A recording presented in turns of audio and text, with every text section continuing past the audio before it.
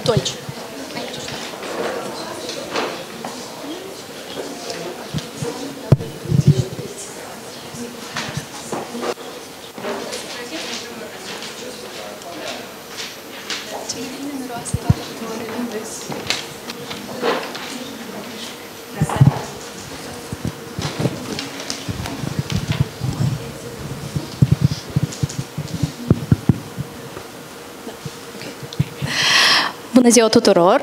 Eu mă numesc Ecaterina, reprezint ambasada Regatului Țărilor de Jos și îmi face o deosebită plăcere să vă salut astăzi la acest eveniment, Tulip Press Awards, ediția 2024.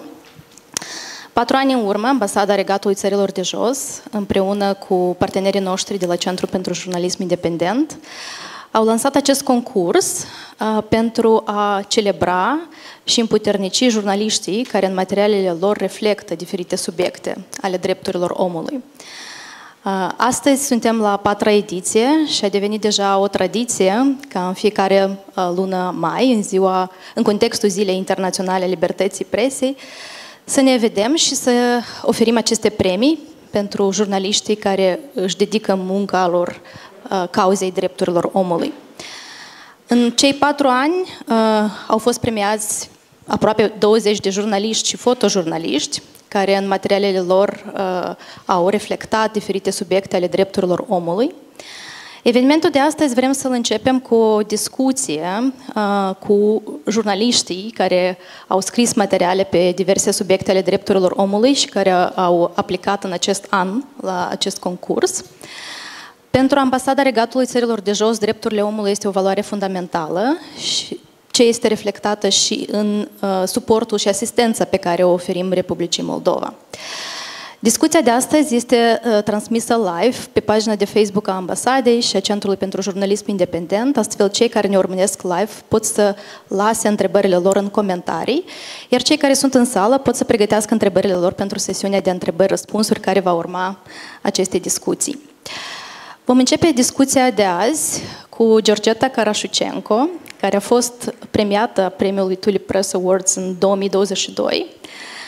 Uh, Georgeta este jurnalistă la Radio Europa Liberă, uh, însă pentru uh, acest concurs a pregătit un material pentru moldova.org în care a documentat un caz a unui director de spital municipal din Chișinău, care este acuzat de foste și actuale angajate de hărțuire sexuală. Georgeta, te rog să ne spui uh, de ce acest subiect a stârnit atâtea reacții și controverse în societate. Este societatea gata să discute acest subiect în mod deschis și cum media poate contribui la o mai bună conștientizare a faptului că hărțuirea sexuală este o încălcare a drepturilor omului și cum putem face ca mai multe cazuri de acest gen să fie raportate și investigate adecvat. Georgeta, ai cuvântul. Bună ziua! Mă aud? Da? Bine. Bună ziua tuturor, tuturor, mă bucur să vă văd aici.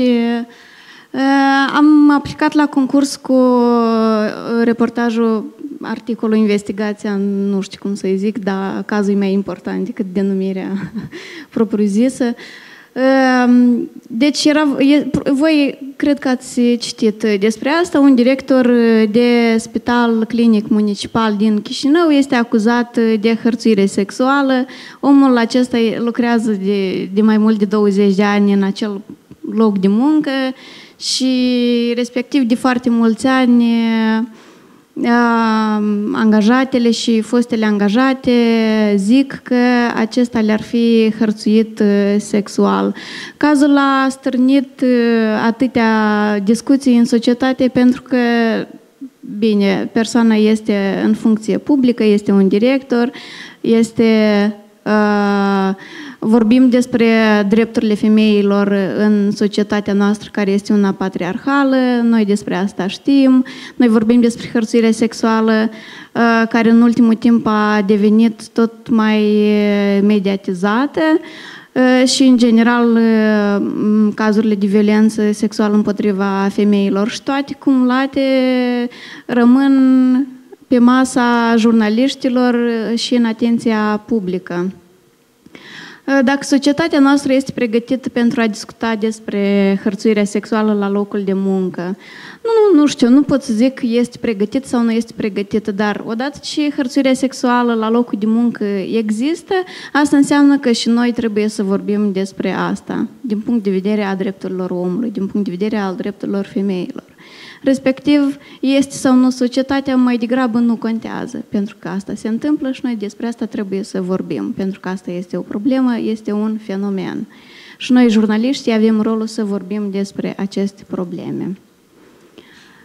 Uh, în general, pe parcursul timpului am reușit să documentez mai multe cazuri de hărțuire sexuală. În 2022, când Rusia a invadat uh, Ucraina, uh, la un centru pentru refugiați, mai multe voluntari au acuzat un angajat al preturii Botanica că ar fi fost hărțuite de către acesta. În următorul an am, am scris despre un subiect cu care am aplicat la TULIP legat de violuri. Anul trecut, iată, am publicat asta cu hărțuirea sexuală și consider că e foarte important să vorbim despre asta din punct de vedere al drepturilor omului, pentru că asta este o încălcare. Și nu putem să pur și simplu să vorbim, să informăm despre asta, dar trebuie să mergem un pic mai departe, pentru că fiecare om are drepturi și trebuie să li se respecte.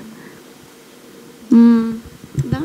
Dacă ai putea să ne spui rolul mass media în reflectarea acestor cazuri, uh, cum, cum contribuie mass media astfel la o mai bună conștientizare? Ai vorbit că nu doar informare, dar și educare cumva. Uh, dacă ai putea să, să ne spui un pic mai mult despre acest rol important al jurnaliștilor. O să dau un exemplu. Uh, fiind acum la Europa Liber, continui să documentez cazul actrițelor care acuză regizorul lituanian de hărțuire sexuală. În curând o să publicăm un update. M-am întâlnit recent cu victima și ea mi-a zis că a citit uh, materialele de presă ale colegilor și un editorial în special Ă, pur și simplu a făcut-o să, să înțeleagă că presa o aude, că oamenii o înțeleg. Ea mi-a zis că a citit textul și ea, s-a, ă, ea a zis că e exact ce simte ea. Respectiv, persoana nu s-a simțit singură, persoana s-a simțit înțeleasă, ă, înțelege că nu este vina ei pentru ceea ce i s-a întâmplat și a agresorului. Respectiv, presa ajută și pe partea asta să înțeleagă, ca victimele să înțeleagă că ele nu sunt singure și că blamarea victimelor de fapt nu este ok. Uh, și aici este și rolul mass media să contribuie la, la faptul că, la mesajul general uh, pe care îl transmite Coaliția Națională Viață Fără Violență, că victimele nu sunt vinovate pentru violența domestică, violența sexuală, ci este vina agresorului. Mersi mult, Georgeta. Dacă aveți întrebări, păstrați-le pentru sesiunea care va urma la sfârșit, întrebări-răspunsuri. Vom continua discuția la aceeași tematică, cumva drepturile femeilor, cu următoarea noastră vorbitoare, Polina Cupcea, care de asemenea a fost premiată în edițiile precedente ale Tulip Press Awards. Uh, Polina este jurnalistă și fondatoare a proiectului Media Oameni și Kilometri. Pentru ediția din acest an, Polina a, prezentat istoria unui, uh, o istorie de violență domestică prin prisma unui agresor.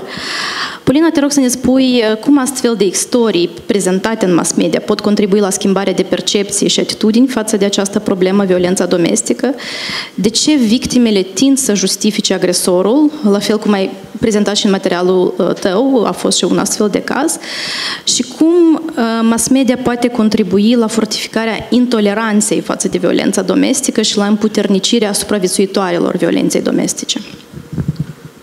Bună seara! Noi la oameni și kilometri în general scriem mult despre violență și cumva de fiecare dată când lucrăm la un subiect, mă gândesc dacă mai are cumva relevanță pentru că uneori mi se pare că piața este suprasaturată de astfel de subiecte. Dar atunci când ești în teren îți dai seama totuși cât de mult uh, cât de importante și cât de mult totuși mai este nevoie să scriem despre asta. Uh, nu știu cum a dat povestea, ori eu am dat peste poveste sau povestea Iulică i-a dat peste mine, uh, dar țin minte că am fost cumva atras, pentru că spuneam că scriem mult și încercăm cumva să dăm uh, de fiecare dată la acest fenomen să abordăm un pic altfel, ca să nu ne repetăm. Și aici mi-a atras atenția că uh, vroiam să fac un subiect despre brățările electronice și cum funcționează. Uh, și um, într-un sat prăfuit, ars de soare și de grijă, eram... Uh, deci victima trăiește peste o casă de agresor. Și cumva mi-a atras atenția că el avea brățară electronică și când se apropie, el pe acolo trece zilnic, adică nu are alt cale, nu are alt drum. Și cumva mă gândeam, zic, Doamne, dar cum funcționează la o distanță atât de mică?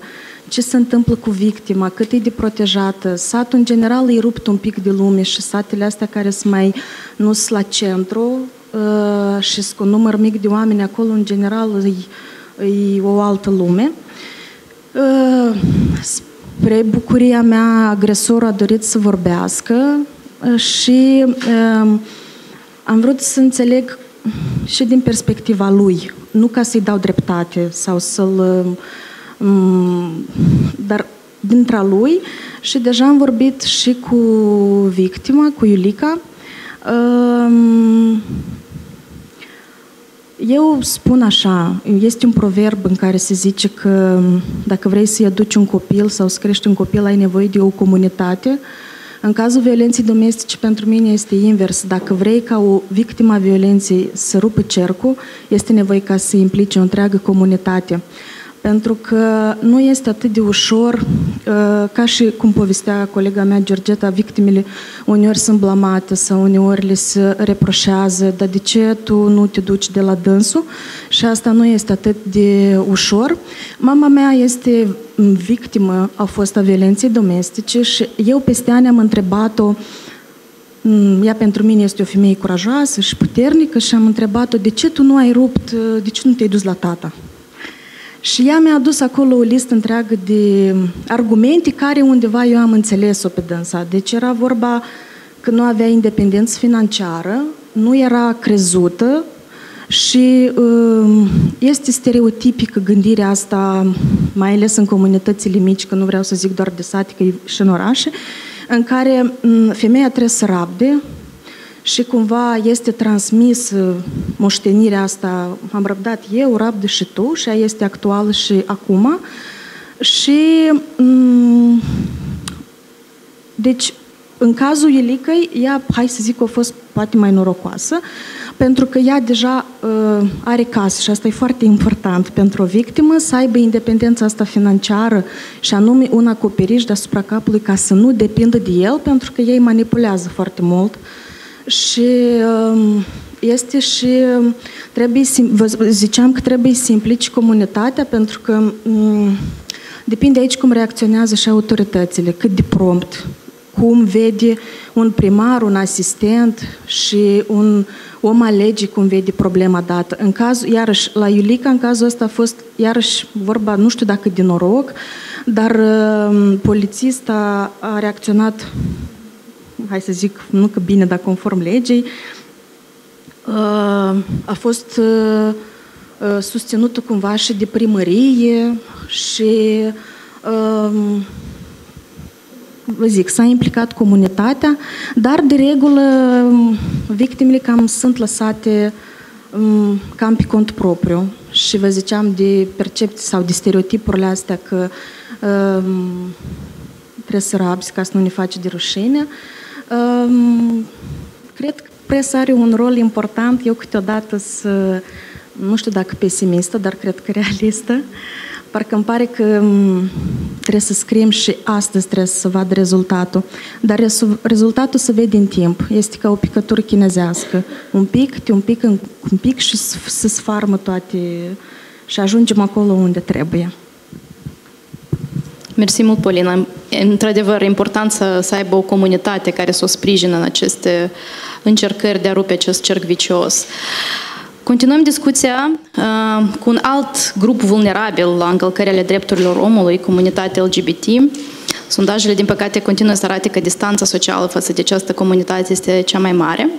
Valeria Batereanu, redactoare șefă la portalul pentru tineri Dies, a documentat comentariile homofobe în urma Pride-ului de anul trecut și a oferit dezmințiri. Valeria, te, te rog să ne spui despre acest rol educativ, informativ pe care mass media îl are, în special pentru tineri și cum pot astfel de uh, articole, astfel de uh, materiale schimba aceste atitudini și percepții care există față de o anumită comunitate. Bună seara tuturor! Mulțumesc mult, Caterina, pentru introducere. Um, când am fost invitată la acest panel, mă gândeam foarte mult la cele cinci roluri ale jurnaliștilor pe care le-am învățat la facultate. Două cele mai importante pentru mine, pe care le-am deprins, era informarea și educația. Și mă alătur la ceea ce au spus antevorbitoarele mele despre faptul că nu e suficientă doar o informare. Trebuie să venim cu ceva în plus. Um, în 2023 noi am avut primul Pride al comunității LGBT în Republica Moldova. De ce zic primul Pride? Fiindcă anterior noi am avut marșuri, ma, marșuri ale comunității LGBT și este o victorie foarte mare să fie organizat un Pride. De fiecare dată ne asumăm să scoatem în evidență aceste evenimente, ne asumăm să mergem, să facem live-uri și să scriem despre comunitatea LGBT și de fiecare dată ne asumăm că persoanele care ne urmăresc pe noi și nu neapărat doar cele care ne urmăresc, pot să lase comentarii. Anul trecut am avut cel mai mare val de hate cu care ne-am confruntat vreodată. Am avut peste 2000 de comentarii, dintre care peste 1500 erau comentarii de hate. Um, Prima reacție pe care am avut-o, fiindcă în acel moment eram um, social media manager, respectiv trebuia să fac ceva cu acele comentarii, nu puteam să le las să fie acolo, am început să le analizez și nu îmi venea să cred cât de ignoranți pot fi anumite persoane, de ce se întâmplă una ca asta. Deci prima reacție a fost una foarte emotivă. Am început să discutăm foarte mult în redacție ce facem cu aceste comentarii, fiindcă nu este o soluție să le lăsăm, să pur și simplu să le ștergem, de parcă nu ar fi existat niciodată, fiindcă au existat.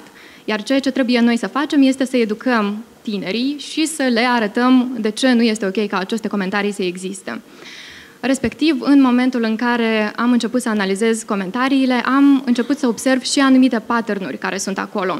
Într-un final am ajuns cu 11 patternuri, 11 clase foarte mari de probleme cu care ne confruntăm atunci când vorbim despre comunitatea LGBT.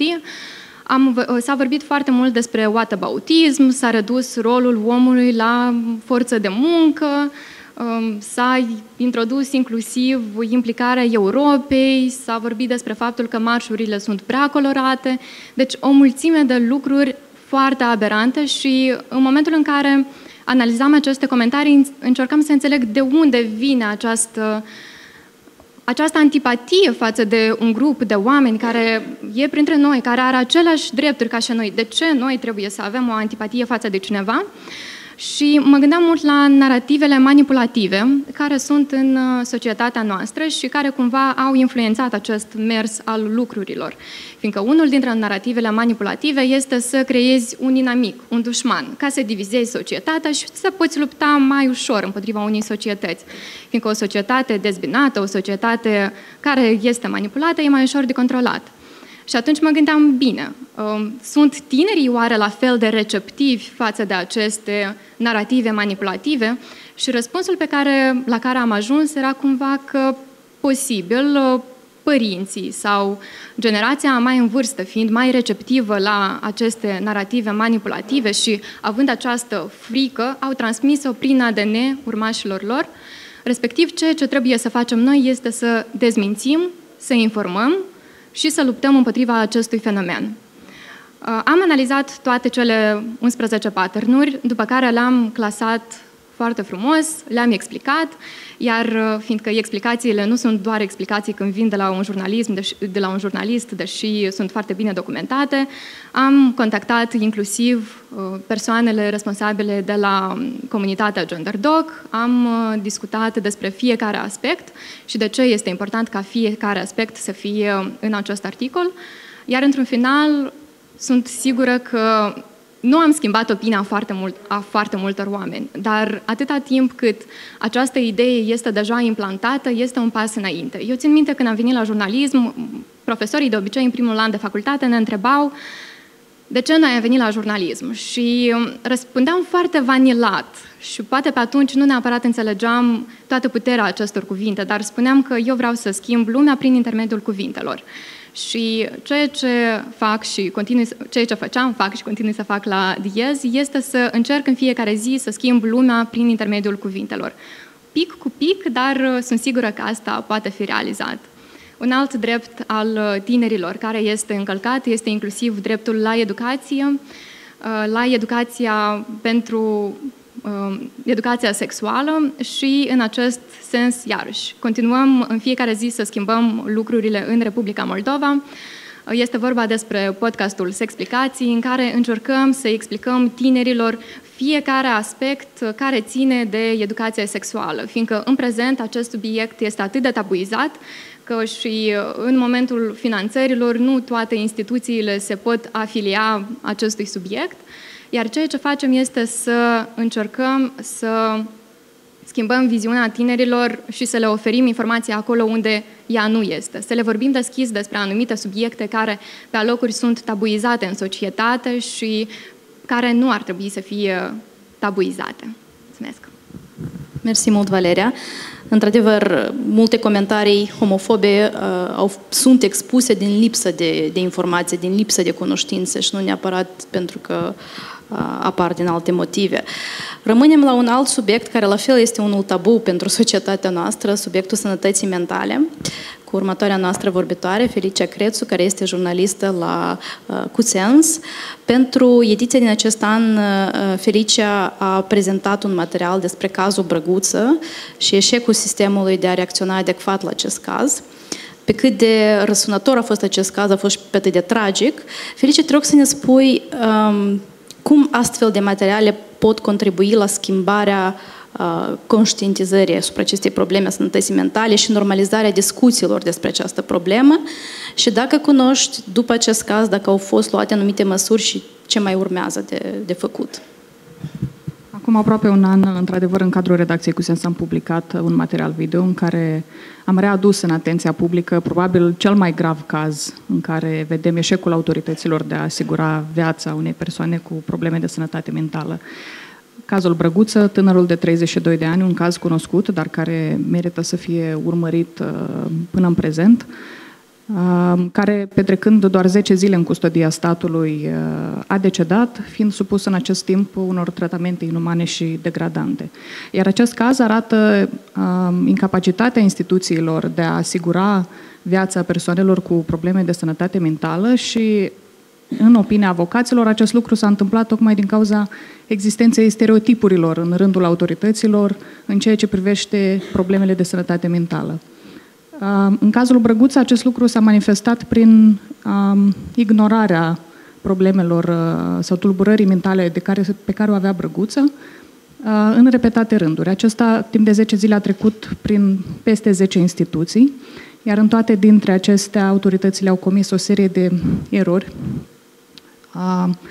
neținând cont de tulburarea mentală pe care o are, deși părinții au informat uh, autoritățile că acesta este diagnosticat uh, cu o problemă de sănătate mentală. Deci nu s-a ținut cont de uh, problema lui de sănătate mentală nici când a fost reținut și a fost plasat într-o celulă cu alți patru deținuți, nici când a fost maltratat de ceilalți deținuți, tocmai din cauza comportamentului ciudat pe care l-a afișat Brăguță, cauzat iarăși de tulburarea mentală pe care nu a avut ocazia să o trateze medicamentos cât timp a fost reținut. Uh, iarăși s-a ignorat problema lui de sănătate mentală în continuare, fiind, uh, fiindu-i prelungit termenul de detenție, ceea ce a dus într-un final, într-un termen scurt, la decesul lui. Și în acest caz vedem că sănătatea mentală era cu șapte ani în urmă un subiect tabu, la fel este și acum. Tocmai pentru că în comunitățile din Moldova sănătatea mentală sau problemele de sănătate mentală încă sunt văzute ca o rușine, ca o slăbiciune. Și asta vine nu doar dintr-o cultură mai conservatoare, dar și din lipsă de educație și de conștientizare. Mulți oameni nu știu ce înseamnă sănătate mentală sau nu înțeleg acest concept foarte bine, nu înțeleg cum afectează sănătatea mentală, viața de zi cu zi, că există printre noi persoane cu tulburări mentale care, dacă își primesc asistența medicală adecvată, sunt membrii funcționale comunității. Iar rolul nostru ca mass media este să vorbim în materialele noastre mai mult despre acest lucru, să aducem această educație și conștientizare în rândul publicului, să vorbim despre faptul că sănătatea mentală este un drept fundamental la nivel egal cu celelalte drepturi care probabil sunt mai, mai mult cunoscute, dar rolul nostru mai important este să cerem socoteala autorităților atunci când acestea neglijează drepturile persoanelor cu probleme de sănătate mentală. Pentru că nu e suficient să fie un subiect important doar pentru noi, jurnaliștii, societatea civilă, dar mai important este ca autoritățile să, să fie un subiect important și pentru ei, pentru că ei sunt cei care fac politicile, aplică legile, ei sunt cei care interacționează zi de zi, propriu-zis, cu fiecare cetățean în parte și vedem că și viața lor depinde inclusiv de acțiunile autorităților, ca în cazul Brăguță. Um, altă întrebare care era? Ce a urmat după acest caz, dacă cunoști? În urma cazului Brăguț au fost uh, pornite trei dosare penale. Procurorii le-au trimis în judecată, au fost inculpați 16 gardieni care l-au supravegheat uh, pe parcursul timpului pe Brăguță, uh, patru codeținuți care l-au maltratat în, în fiind în aceeași celulă și doi medici care, din cadrul penitenciarului spital numărul 16, care nu i-ar fi pus o diagnoză corectă din punct de vedere medical. Atunci când am publicat subiectul, trecuseră șase ani de la decesul lui Brăguță și atunci nu exista nicio decizie definitivă în instanță. Nimeni nu fusese tras la răspundere pentru decesul lui Brăguță. Deci două dosare erau la faza curții de apel, iar dosarul medicilor nu avea nici măcar o hotărâre în prima instanță. De atunci a mai trecut un an și, din păcate, situația a rămas neschimbată. Nu s-a produs nicio evoluție, în instanță pe aceste dosare. Ce mai poate fi făcut? Din punct de vedere a mass mediei, cum ziceam, să vorbim mai des despre aceste subiecte, să suplinim acest gol de educare și conștientizare, dar având în vedere că aceste subiecte nu sunt neapărat cele mai vizualizate, nu sunt subiecte clickbait care o să aducă foarte multe vizualizări redacțiilor, ceea ce descurajează unele instituții mass media să le abordeze. Cred că este important ca partenerii de dezvoltare să sprijine în continuare proiectele în care astfel de materiale sunt abordate de către mass media. Mulțumesc. Mulțumesc, Felicia. Apropo, în, în ediția de acest an a Tulip Press Award au fost mai multe materiale pe acest subiect, pe subiectul sănătății mentale și asta este un lucru pozitiv pentru că contribuie la normalizarea discuțiilor despre această problemă. Continuăm discuția cu următoarea noastră invitată, Daria Slobocicova, care de asemenea a fost premiată în ediția precedentă programului Tulip Press Awards. Daria este jurnalistă la Newsmaker și pentru ediția din acest an, Daria a documentat uh, problema încălcării drepturilor omului în stânga Nistrului. Daria, te rog să ne spui de ce este important să cunoaștem despre aceste cazuri și cum, cum am putea contribui, cum mass media poate asigura acest echilibru între a reflecta aceste cazuri și a nu dăuna victimelor uh, încălcărilor drepturilor omului în stânga Nistrului. Bună seara, mulțumesc, Екатерина, добрый вечер. Да, вопрос, наверное, пойду от обратного, да. Вопрос действительно сложный, потому что Приднестровский регион, как неконтролируемая территория, очень сложно выдержать этот баланс для того, чтобы правильно и отобразить все, что там происходит, и не навредить никому. Но в первую очередь, наверное, очень важно понимать всем нам, что мы как общество, как страна, э, зная, что у нас тоже есть очень много случаев э, нарушений прав человека, это и эм, проблемы с независимостью судебной системы и э, нежелание расследовать и вообще браться за случаи насилия, в том числе бытового, сексуального, проблемы с национальными меньшинствами, случаи агрессии или угрозы агрессии в их сторону. Э, также ЛГБТ-сообщество часто сталкивается с этим. Но, тем не менее, у нас есть понимание того, что мы можем обратиться в соответствующую инстанцию и можем хотя бы попробовать э, получить справедливость в той или иной степени. Э, что касается Приднестровья, то представьте себе, что э, происходит все то же самое, но еще больше, да, то есть э, мы много чего, многого не знаем, многие люди не обращаются, но кроме этого есть еще очень много случаев, таких как исчезновение людей или кража людей средь бела дня, э, их э, ненадлежащие условия в тюрьмах, пытки, унижение достоинства, эти нарушения прав человека можно перечислять очень много, но у людей, которые живут на левом берегу Днестра, э, у них э, либо нет возможности обратиться в соответствующие инстанции, либо это очень затруднительно. Да? Они, как э, граждане Молдовы, тоже имеют право на то, чтобы это все расследовалось тут, но у властей Молдовы нет по объективным на то причинам, на причин, на, по причинам, о которых мы все знаем, у них нет возможности на такой же доступ э, к тому, чтобы их права были защищены. Э, поэтому ну, наша задача, да, в первую очередь, не молчать, говорить, э, наверное, для того, чтобы защитить тех людей, которые пострадали, говорить анонимно об этом или говорить как о явлении, а не о конкретном случае, когда этого, это необходимо, когда того требует безопасность человека, ну и делать все возможное для того, чтобы это не замалчивалось, для того, чтобы мы знали и мы как э, журналисты, и как общество, которое нас читает, смотрит, что происходит э, в этом регионе, что там э, живут люди, которые, у которых, возможно, нет всех прав для того, чтобы выражаться, для того, чтобы показывать, что на самом деле происходит. Мы также все прекрасно понимаем, что там есть проблемы и со свободой слова, и с преследованием инакомыслящих, э, и э, есть политические заключенные, и оппозиционеры, которым не дают э, осуществлять свою деятельность. Поэтому важно говорить, важно показывать и важно не молчать, потому что у людей может сложиться впечатление, что там все хорошо или наполовину все хорошо, да, но на самом деле это не так. И как можно больше и как можно чаще нужно об этом разговаривать. Mersi, Daria. Cred că putem deschide uh, sesiunea de întrebări-răspunsuri. Vă rog foarte mult să adresați întrebări vorbitoarelor la subiectele care le-au abordat în materiale sau la rolul presei în a aborda problemele drepturilor omului.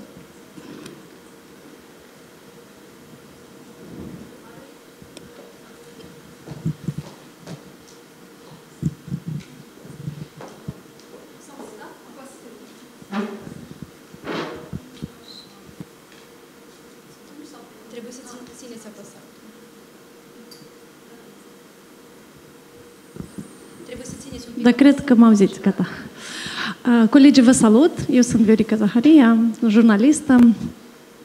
Întrebarea mea este ușoară, într-un fel, mai mult pentru Polina. Pentru că când am citit materialul, chiar și acum am stă în minte această întrebare. Puțină lume abordează agresorii. Și acum mă gândesc cum ai ajuns și cum l-ai convins pe om să vorbească. Este o curiozitate absolut profesională, pentru că știu că ei se eschivează, cu atât mai mult dacă nu au vreo poziție, nu sunt interesați să vorbească cu jurnaliștii.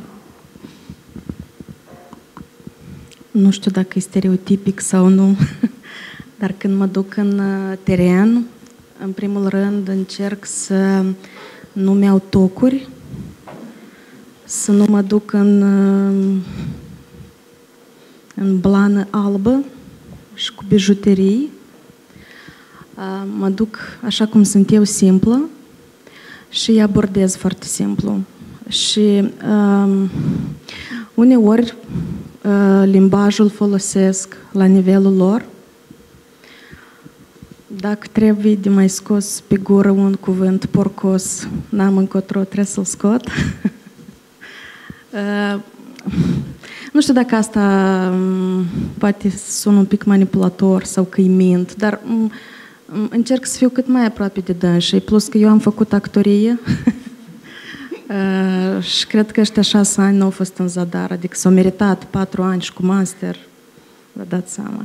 Dar uh, eu îi ador pe oamenii, iarăși nu vreau cumva să delimitez orașul cu satul, pentru că sunt aceleași probleme, dar cumva îi ador pe ăștia de la sat că ei sunt foarte, ei sunt foarte naturali și cât n-ar fi de straniu, uh, unii, unii colegi de mei cumva se tem să se duc că, dar mie nu, nu, nu cred că mie o să vrea să-mi deschidă uh, ușa, dar eu nu cred că el o să vrea să discute. Nu, oamenii ăștia sunt doriți, pentru că la dânsii vine, este cumva percepție. Adică eu spun sincer ce, sunt, ce simt eu când mă duc într-un sat. La dânsii cumva o vine jurnalistul în sat. Asta e eveniment. Da, la dar omul ăsta era cineva specific, acuzat de ceva.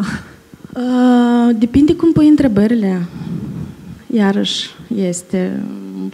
Um, nu m-am dus să-l acuz, nu m-am dus să-l judec, nu m-am dus să mă-l învinuiesc. Pur și simplu eram curioasă um, ce are el pe suflet, cum se descurcă el cu brațara. Știu că asta e o foarte mare rușine și știam pentru sat, în ghilimele, este rușine să ai... Uh, el are și o replică, m-au, m-au potcovit.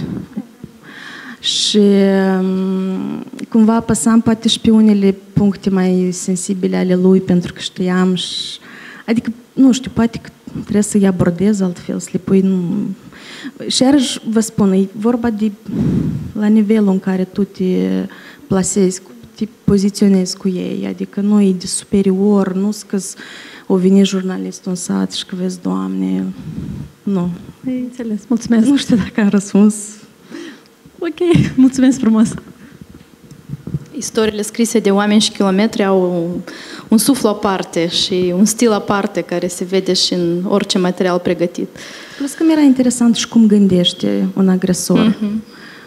Mm, iarăși, cum am spus în discurs anterior, nu ca să-i dau dreptate, dar uneori poate lăs uh, în mod intenționat unele frazele lui, că mă gândesc că poate dă Doamne și citește o autoritate și se gândește că, aha, uite, Ivan gândește așa, asta nu e ok, noi trebuie să schimbăm și noi trebuie poate într-o strategie sau într-un plan de-a nostru, ia să spunem și pentru agresori niște chestii, că uite, pentru că el nu vedea că are o problemă și nu vedea că el e problema. Dădea vina pe beata femei. Mersi. Alte întrebări? Da, în spate. Eu sunt cea din spate, da? Bună ziua, mă numesc Alina. Mulțumesc tuturor vorbitoarelor pentru um, poveștile voastre și pentru munca din spate pe care ați uh, povestit-o cu noi aici. Uh, sunt și eu uh, parte dintr-o redacție și am tot auzit azi despre impact mic câteodată de vizualizări, despre, pe de altă parte, mii de comentarii de hate și um, deci vorbim despre tot felul de impact sau rezultate cu care vine la pachet publicarea unui material și se pare că documentarea și tot efortul nu se termină cu publicarea, așa Și eu știu din experiența noastră de la Diez ce și cum și cât de mult de muncă ne poate face un material de după publicare, dar aș aprecia și ceilalți colegi să ne povestească ce înseamnă, ce se întâmplă după, și ce faceți voi cu impactul, cu neimpactul, uh, cu hate-ul, cu uh, comentariile, cu reacțiile, poate în unele cazuri cu procesele uh, sau alt tip de impact. Se, se pare că este o muncă care vine de după și mai mare decât ceea ce a fost până la. Da, oricine vrea să împărtășească asta. Mersi.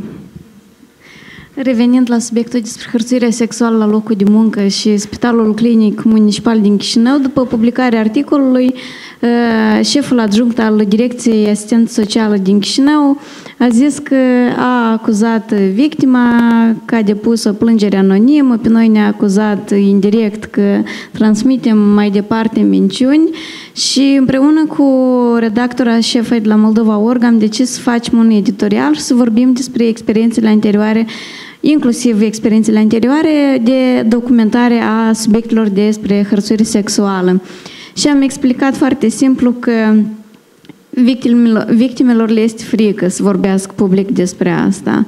Deci, a fost uh, hate și în adresa jurnaliștilor, hate în adresa victimelor, uh, apoi uh, în cazul nostru victimele au primit asistență de la Centrul de Drept al Femeilor, asistență psihologică și juridică, ele au depus o plângere la poliție, deocamdată nu avem niciun update aici.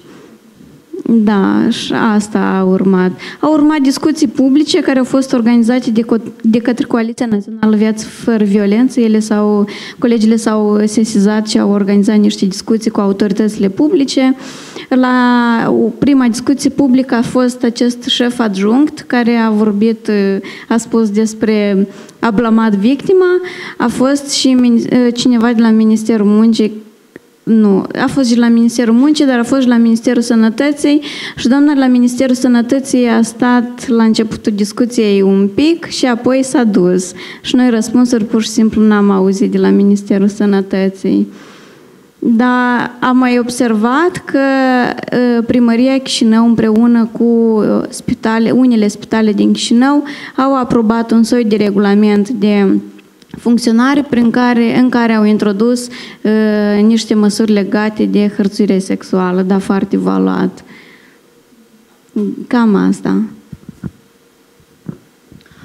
Uh, eu am o regulă deja de la actorie, am vorbit mai sus. la noi era uh, trebuie să joci spectacolul și trebuie să joci bine chiar dacă ai un singur spectator. Uh, și cumva regula asta nescrisă am folosit-o și în jurnalism. Am zis că poate să fie măcar o singură vizualizare, dar asta înseamnă că articolul a ajuns la cineva. Respectiv, noi nu prea punem accent pe cantitate, dar punem accent pe calitate. Și unul dintre impacturile care le avem și le simțim noi la oameni și kilometri este despre împuternicire.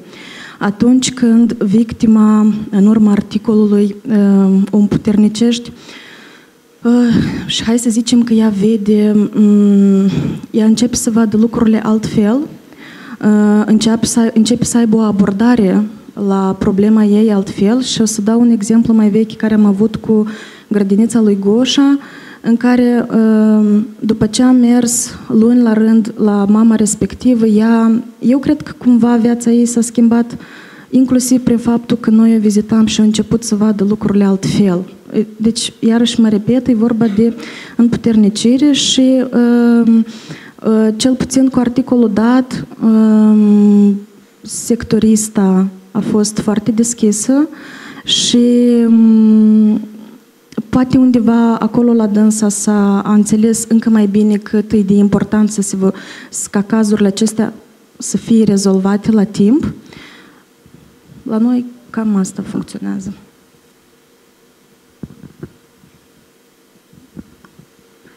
Viața unui, unui material după publicare deschide discuția despre cât din munca unui jurnalist este jurnalism și cât este activism, sau unde se termină jurnalismul și începe activismul.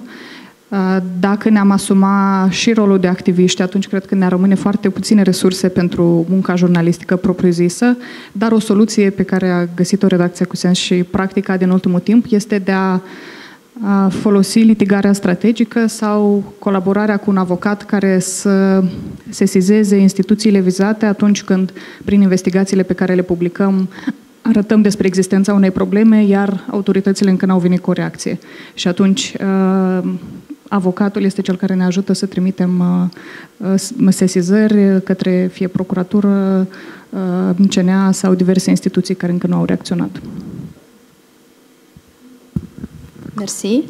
Ați avut cazuri atunci când ați reflectat o anumită problemă, un caz concret de încălcare a drepturilor omului și ați primit scrisori sau solicitări de a reflecta alte cazuri similare?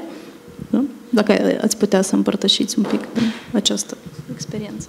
Odată, odată ce am publicat articolul despre hărțuire sexuală, am pus, am anexat un butonaj femeile care au uh, trecut prin aceleași experiențe în cadrul acelui spital să ne scrie și spre surprinderea mea, pentru prima dată, femeile foarte multe ne-au scris și ne-au relatat cazuri similare și am înțeles că e o problemă mare care durează de foarte mulți ani. Și apoi, pe parcurs, au venit uh, alte mesaje despre alte abuzuri. Și tăvălugul a continuat. Da. Și asta este un impact uh, a materialelor pe care le publicați. Polina, da. La noi știu că după cazul cu Iulica uh, am fost sesizați de o doamnă uh, despre un, ca, despre un alt caz care urmează să-l fac și care iarăși are anumite um, adică pentru mine ceva de gen n-am mai citit așa în presă și asta adică tot spune ceva N-am avut ca la voi. Dar uh, urmează să facem subiect.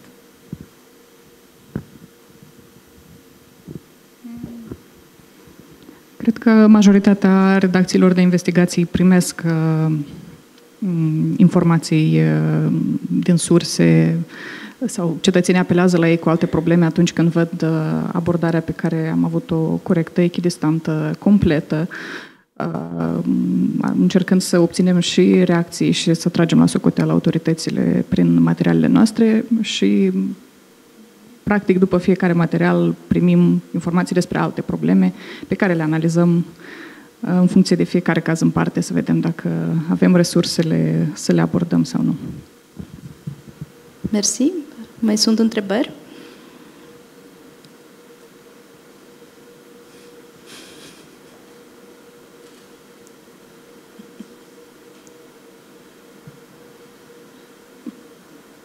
Nu. Eu aș avea o întrebare referitor la impact, pentru că Alina cumva a atins uh, acest aspect legat de sustenabilitate. Da? Cum vedeți voi, pentru că reprezentați diferite instituții media care reflectă subiectele drepturilor omului, cum vedeți sustenabilitatea unor astfel de proiecte?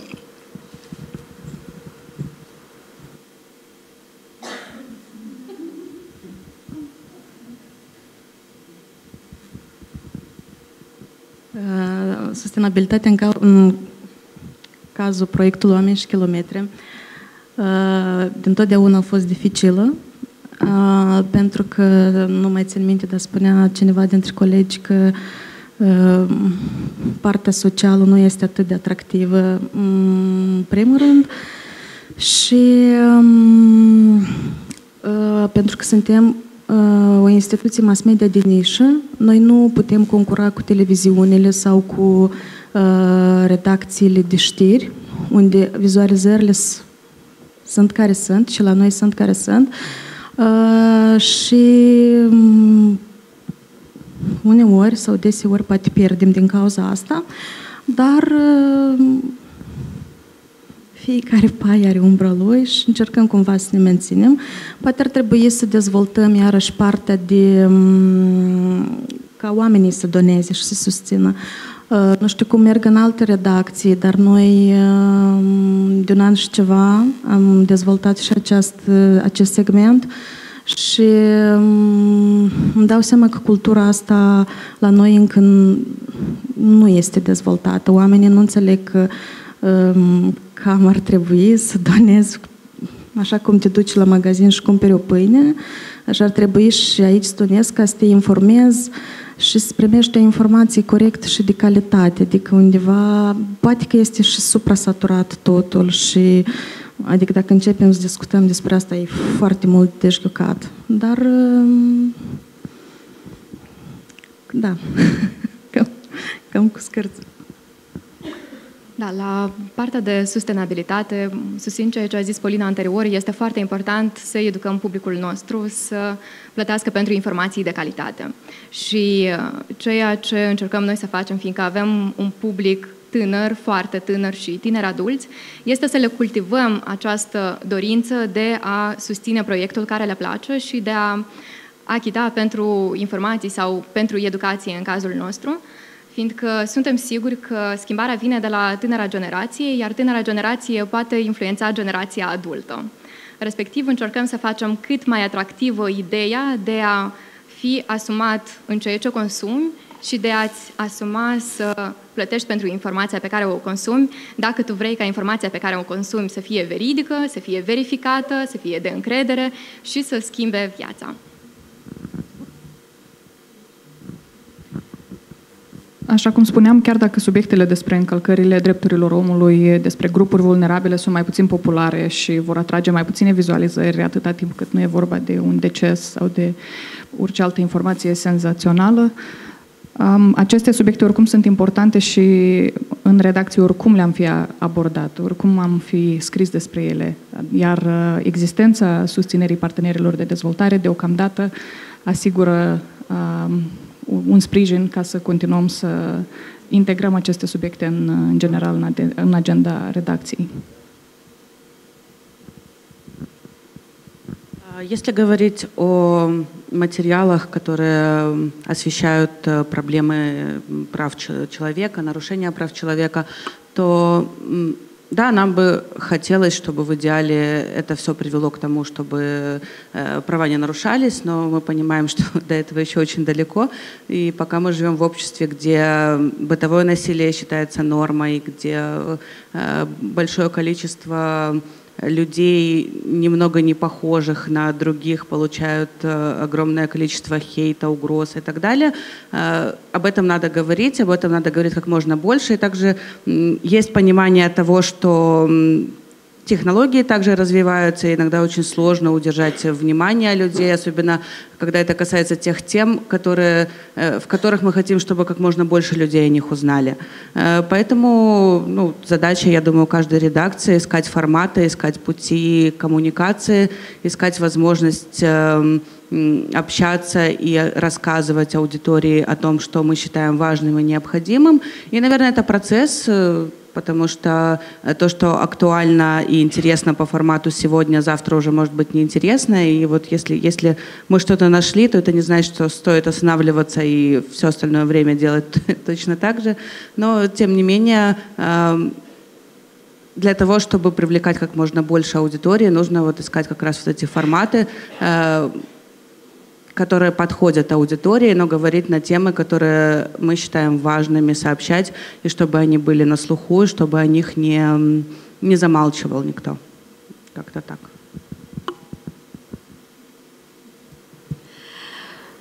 Василия, повтим.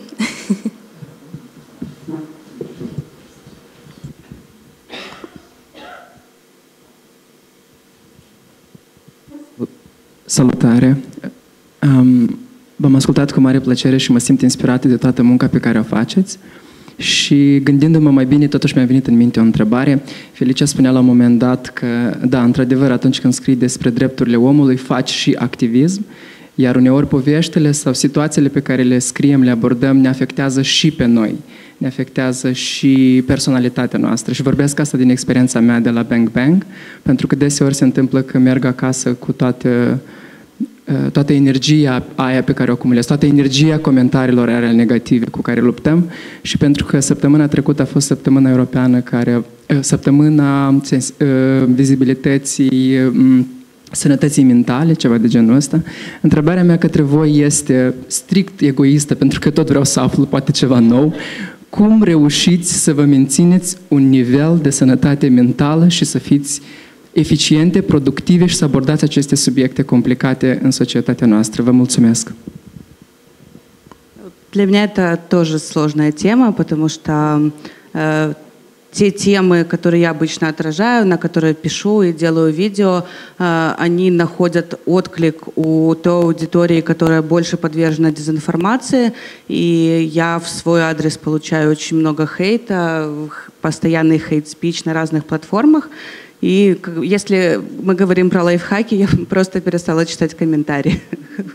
Я стараюсь, если нам нужны какие-то фидбэки, стараюсь, чтобы мне коллеги помогали, чтобы выудить и вычленить самое важное и адекватное из того, что там происходит, но вот я решила себя от этого огорчить. Спасибо. În cazul meu înțeleg că sunt uh, mai eficientă și pot aborda mai eficient, uh, pot să-mi fac munca mai bine dacă nu mă atașez emoțional, iar atunci când asta nu mi reușește și mă implic prea mult, atunci cer ajutorul unui specialist. Spuneam că ideea subiectului pentru 1500 de comentarii homofobe a venit inclusiv din impulsul emoțional pe care îl aveam.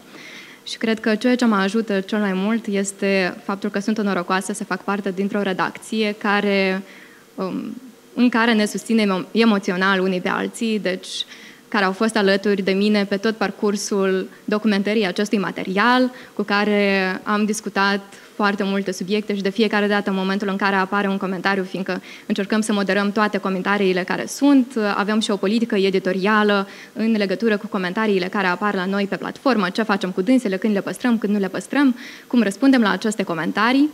Păi, iată, practic, în fiecare zi, în special când e vorba despre subiectele sensibile, avem o mulțime de mesaje în uh, chatul, în chatul diezului în care discutăm foarte mult despre fiecare comentariu, astfel încât să încercăm să ne detașăm un pic emoțional și să nu ducem toată durerea asta emoțională acasă, să o lăsăm în uh, limitele biroului. Și este o practică care ne-a ajutat uh, pe parcursul anilor să discutăm cu toții împreună.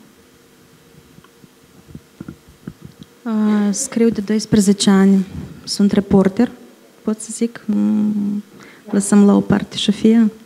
Și am scris întotdeauna pe subiecte sociale și pentru mine am scris pe subiecte grele, violență, viol, sărăcie, alcoolism și nu ai, cel puțin în cazul meu, nu ai cum să te duci acasă și să nu te gândești la ceea ce ai văzut în teren. Au fost momente când nu puteam să mănânc pentru că mă gândeam că, Doamne, dacă copilul la care l-am văzut azi.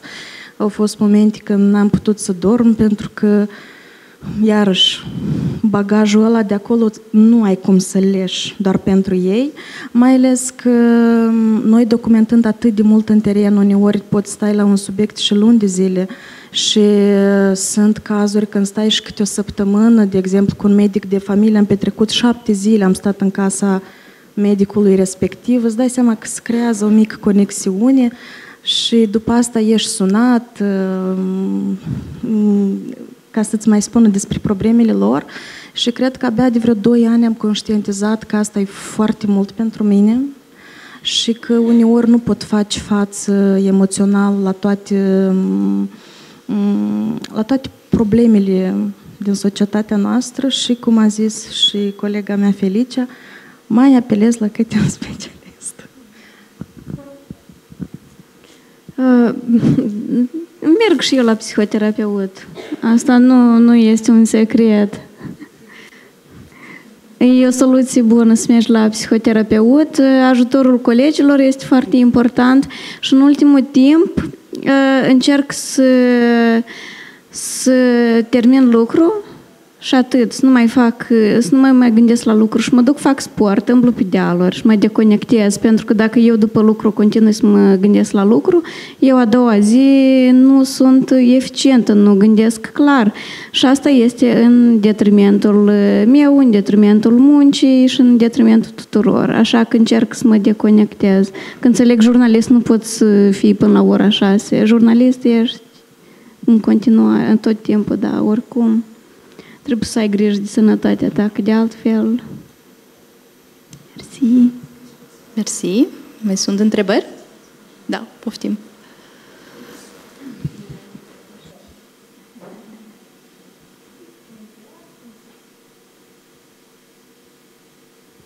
Bună ziua! Sunt uh, Adela Șepciuc, jurnalistă la proiectul Media cu Sens. Vă mulțumesc foarte mult că v-ați împărtășit experiențele voastre. Uh, în momentul când scriem noi reporterii despre anumite ilegalități sau încălcări ale drepturilor omului, trebuie să mergem și să luăm și reacții de la persoanele respective care au făcut aceste ilegalități. Și dacă aș putea spune, nu întotdeauna noi suntem așteptați de aceste persoane. Da. Și vreau să vă întreb dacă aveți anumite tehnici sau, nu știu, um, modalități cum să abordați aceste persoane și în cazul în care chiar sunteți supuși agresivității fizice din partea lor. În cazul directorului despre care am scris, eu am stabilit la telefon un interviu, i-am zis că hai să discutăm, nu i-am zis subiectul în particular, am zis că despre activitatea spitalului. A fost un subiect general ca să nu-l sperii și să nu-mi refuze deodată discuția. A doua zi l-am sunat, oricum nu mi-a răspuns la telefon, m-a sunat serviciul de presă și mi-a zis dar nu vreți să întrebați cumva despre vârsta dumnealui, ceva de rău doriți să întrebați? Trimiteți, vă rog, o solicitare de presă și în solicitarea de presă am expus toate întrebările și am mai sunat, n-am mai primit niciun răspuns clar. În schimb, colegii, alți colegi din presă au abordat subiectul și au vorbit cu ei și le-au răspuns. S-ar putea și asta să funcționeze în alte situații. Dar cam așa, pe toate căile, prin mesaje, prin telefonul mobil, amabil, fără a judeca, fiind echidistanți, așa cum spune codul deontologic. Autoritățile nu centrale, dar locale, în cazurile noastre, sunt cele mai deschise. Și um, chiar ieri sunam și întrebam pe un subiect și mă uitam cu cât lejeritate dădeau informație, știi? Uh, doi la mână. Uh, alt, sau un alt uh, exemplu. Când nu vor să dea răspuns, mă duc direct la ușa lor. Și ei când se trezesc cu tine față în față, fără să fie anunțați din timp, nu au un cotro, cel puțin în câteva cazuri a funcționat. Cu ăștia de la autoritățile centrale, depinde. Îi mai tăguiești pe Facebook și parcă poate le se ridică, știi, le se înroșește obrazul și au, a, a fost și așa caz. Țin minte la Parlament și eram furioasă și în, în două ore mi s-a rezolvat un răspuns care îl așteptam de două luni și mai am o tactică cu cei de la procuratură. Dacă le dai întrebările din timp, ei au o chestie, dar nu doar procuratura, mai sunt și ministerele și asta, îți răspund la întrebările care vor ei sau îți dau trei pagini de apă chioară. Și atunci, cel puțin în cazul cu procuratura, am avut două momente în care mi-au mers. Le-am trimis uh, informații, uh, solicitarea de informație cu de ce aveam nevoie. Ei mi-au dat și într-un, într-un răspuns a fost ok, în alt răspuns a fost mai puțin ok, dar după asta am cerut interviu. Și deja în cadrul interviului am uh, Uh, umplut golurile la solicitarea de informații care um, nu mi-au dat răspuns. Și iarăși a funcționat. Dar uh, nu totdeauna, um, nu știu cum voi, dar sunt, pe mine cel mai tare mă uh, omoară, uh, în ghilimele, uh, răspunsurile care tu aștepți o lună. Poate acum un pic s-a mai redresat situația, dar era când așteptai o lună, două, și mă gândeam la omul care scria executorul la solicitare. El îți scrie două pagini de lucruri, de chestii care... Și mă gândeam, zic, lui nu i-a stat jele de timpul lui să scrie două pagini, adică nu era mai simplu să-ți dai răspunsul decât să... Dar sunt momente și momente. De câteva ori am apelat la poliție. Am scris plângeri la poliție pentru nerespectarea legii privire la acces la informații. Noi am documentat uh, în 2020, pare mi se, dacă mi-aduc aminte bine, uh, am făcut un documentar despre casele de cultură și am solicitat la vreo 40 de case primării informații despre reparația caselor de cultură. Și am sunat pe unii necontenit, le-am scris din nou solicitări și nimic. Ce am făcut noi? Am scris plângere plângeri pe numele acestor primării, le-am am dus la Procuratura Generală pentru că noi nu avem cum să ne ducem în fiecare sat. Oamenii au fost solicitați la poliție, au fost amendați și ne-au trimis răspunsuri la solicitările de presă și a fost ok. Și dacă am avea ca redacția voastră un avocat, cu mare drag i-aș da, i-am dat pe toți în judecată care nu ne răspund. Cu mare, cu plăcere aș face. Ce aș mai putea adăuga la tehnicile enumerate de Georgeta și Polina sunt într-adevăr a da în judecată instituțiile care nu ne oferă acces la informație. Dacă în privința agresorilor sau cei care încalcă legea și uh, persoană fizică care comite un abuz, uh, o reacție de agresivitate și nedorință de a vedea un jurnalist în față, e ceva normal și dacă nu e personal, atunci uh, îi înțelegi reacția omului și îți faci munca mai departe. În cazul autorităților e cel mai greu să obținem informații și să obținem interviuri și atunci când uh, epuizăm toate celelalte metode, fie de a uh, merge la ușa lor, uh, fie de a-i căuta la evenimente, după ce nu primim răspunsuri la solicitări de informație, ultima cale este să îi dăm o judecată pentru faptul că nu ne-au oferit acces la informație și uneori funcționează. Uneori, alteori suntem încă cu процессele în инстанции.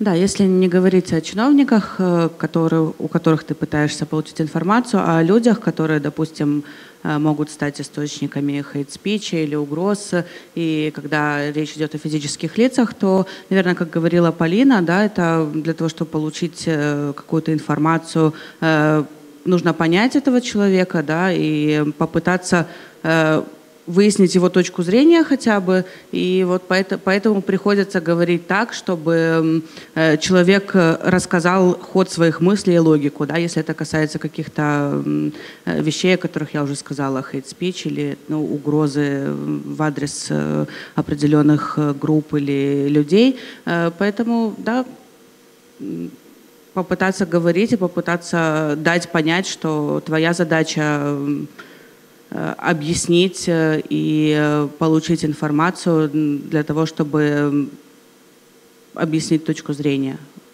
как минимум попытаться.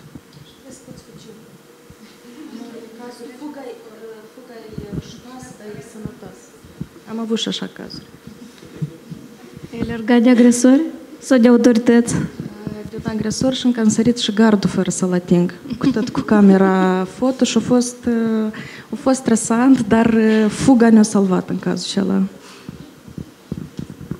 Mulțumesc pentru aceste uh, tips, da, cum să fii un jurnalist bun în Republica Moldova. Mai sunt întrebări? Eu mai am o întrebare care parțial a fost atinsă cumva uh, referitor la dezinformare. Uh, pentru că și anumite subiecte ale drepturilor omului, anumite probleme ale drepturilor omului sunt uh, targetul dezinformării. Cum în cazul Valeriei, uh, care ai monitorizat aceste comentarii homofobe și ai oferit dezmințiri sau inclusiv niște narrative false legate de violența domestică sau de hărțuirea uh, sexuală, intenționate sau mai puțin intenționate. Uh, care este rolul sau cât este de ușor să combați aceste narrative false referitor la anumite subiecte ale drepturilor omului?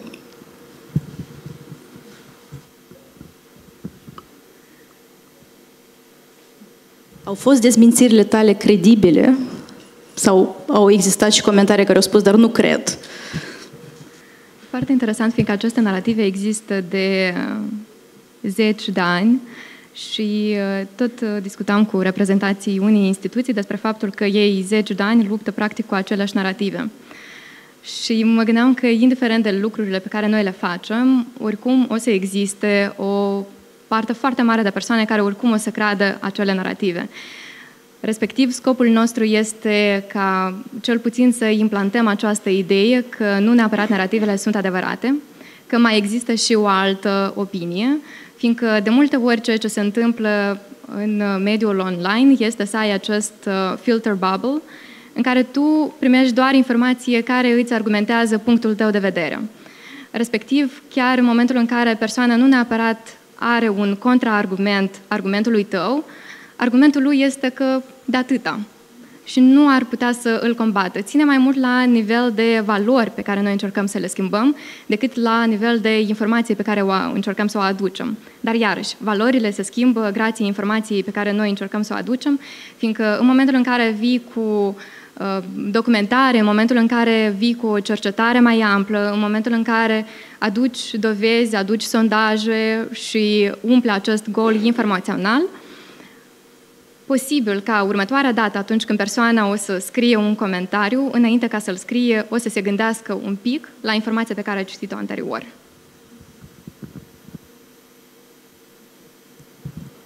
Da, Vasile, poftim. Da, da, da.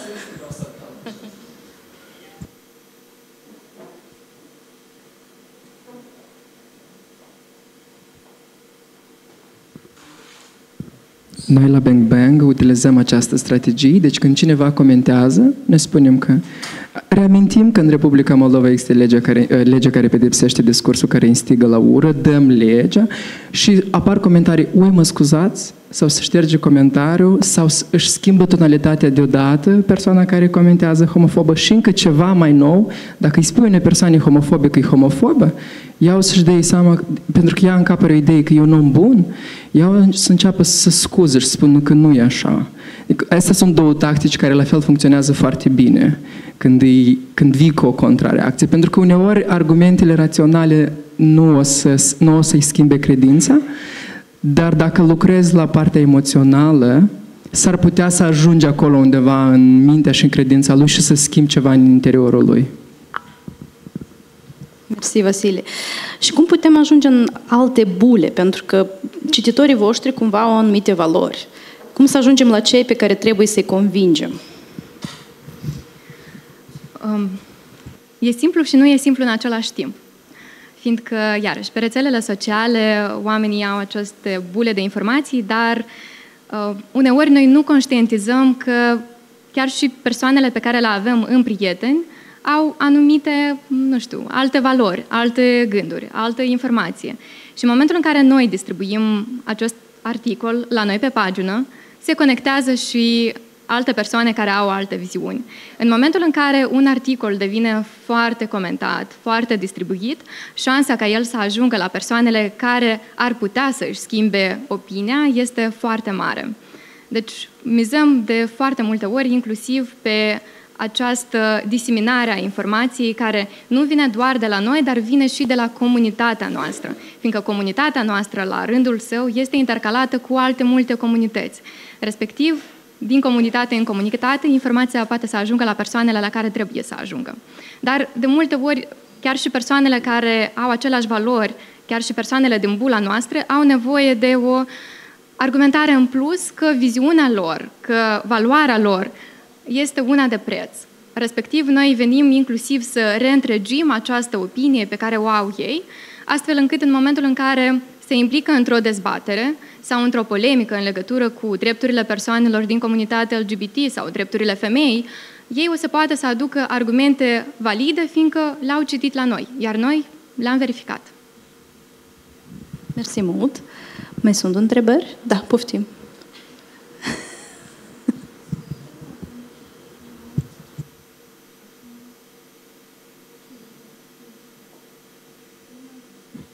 Încă nu, da? Da. Eu nu mă voiam să adaug aici uh, doar să, să încheiem. Uh, da, că e vorba și de persistență, că să nu renunți pur și simplu, adică trebuie să insisti, să fii foarte insistent. Uh, nu știu cât am insistat noi pentru feminizarea funcțiilor și în câte locuri frumoase am fost trimiși, dar tot acei oameni care comentau nu exact uh, frumos în adresa noastră. Ani, ani mai târziu, uh, fiind parte deja din anumite organizații, au început să ne trimită comunicate de presă cu funcțiile feminizate. Am observat uh, impactul ăsta peste ani, deci persistența neapărat și să nu ignori atunci când vezi un comentariu diferit. Evident, atâta timp cât nu-i troll și uh, nu e, o perso- nu e o pagină falsă, dacă totuși este o persoană adevărată care crede așa și ți-a comentat într-un fel sau altul, bine că 1500, 2000, 3000 de comentarii e greu de administrat, e nevoie de resurse, dar uh, e important să nu ignori, mai ales când uh, e un pattern evident nu ignore, nu ne transformăm, noi scriem pentru ei, dar nu scriem pentru ei, pentru că nu există. Pentru noi ar trebui să existe, scriem pentru toți și de asta e important să nu cădem și noi în bula asta și să începem să facem conținut doar pentru bulă. Dacă îmi permiteți eu la fel o mică completare, Irina Lencauțan, TV Nordbelts, eu cred că dacă noi, jurnaliștii, ne vom permite acest lux să scriem calitativ și mai puțin să ne gândim la numărul de vizualizări, pentru că cumva am început ultima perioadă să alergăm după un cal sau fânul calului și mă scuzați de expresie, dar cumva așa, așa am ajuns să fim, ca să avem cât mai mult vizualizări, vizualizări, uh, like-uri și uităm că de fapt avem o menire mai importantă. Uh, o menire de a informa oamenii cap-coadă cu privire la o situație, la un eveniment, la o informație. Dăm cât mai scurt, mai scurt, mai scurt și într-o zi mă întrebam, dar oare între acea minută, ce scurt poți să mai bagi?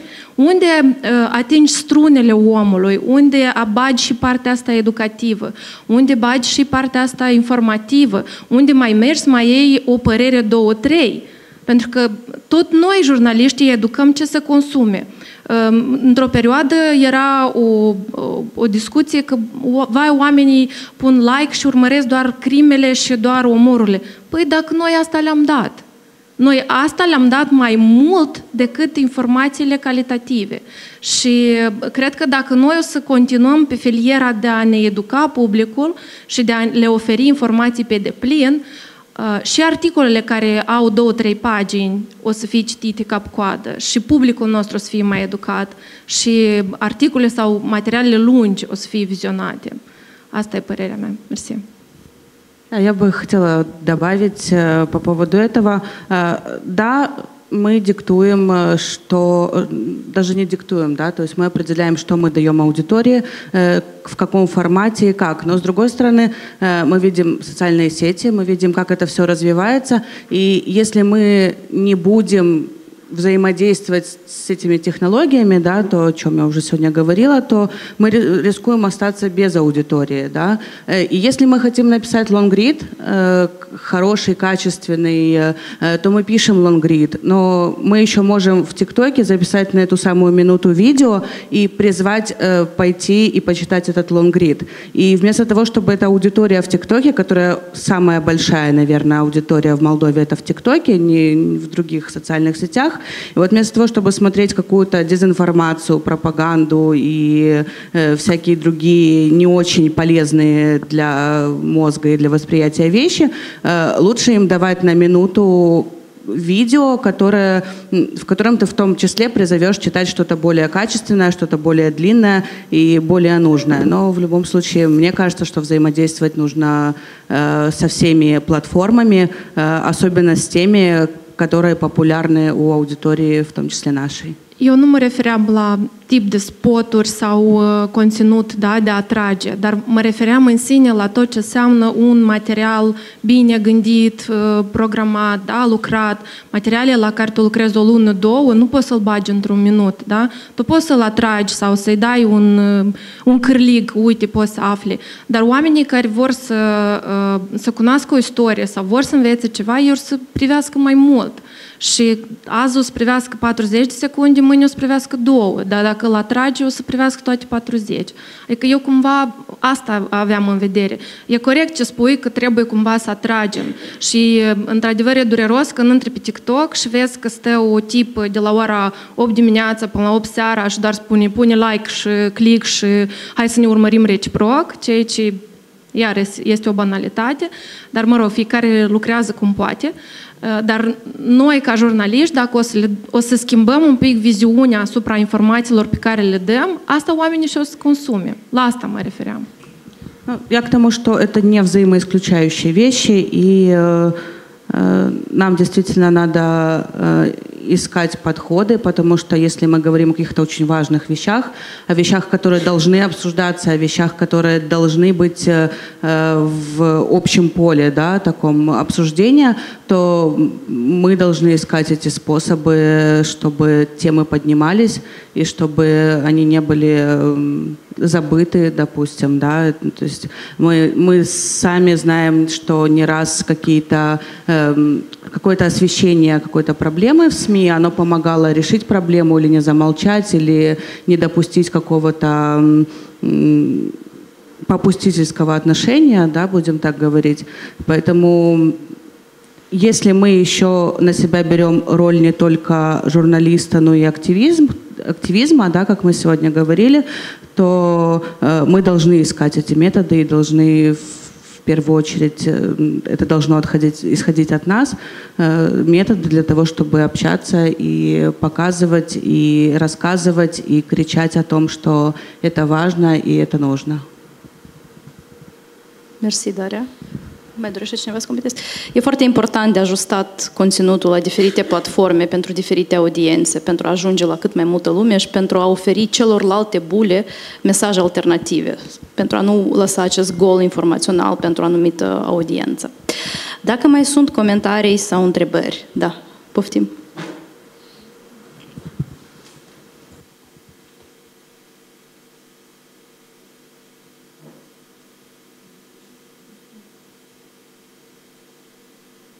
Cred că se aude, da? Uh, eu o să am mai mult o, o încurajare decât o întrebare, că uh, subiectele despre care, care scrieți, drepturile omului, nu au fost niciodată populare. Eu când am început să fac jurnalism în 2012, simțeam că scriu despre lucruri care nu se citesc. Dar în timp lucrurile s-au schimbat și dacă în 2014 era practic imposibil să convingi o victimă a violenței în familie să discute cu tine într într când documentai un material, acum este posibil să faci așa, astfel de lucruri și uh, acum, dacă sunt subiecte care este greu să le documentați, în următorii ani o să fie mai simplu și este, de fapt, în puterea voastră să faceți agenda. Și cu cât mai multe materiale o să fie, cu atât și publicul va reacționa altfel și subiectele astea vor deveni, vor atrage. Asta o să dureze, dar audiența se va orienta spre. Pentru că acum nu, nu vedem. Proporția subiectelor legate de drepturile omului nu este uh, cea mai mare, dar paradoxul este că probabil ați simțit-o și voi, oamenii cu care discutați, o să vă spun întotdeauna despre o injustiție, despre un drept care li s-a încălcat și poate în timp chiar oamenii ăștia o să devină eroi reportajelor și uh, investigațiilor voastre, așa că vă încurajez să continuați, chiar dacă la un moment pare că asta nu se citește. Mersi mult. Poftim? Da. De microfonul.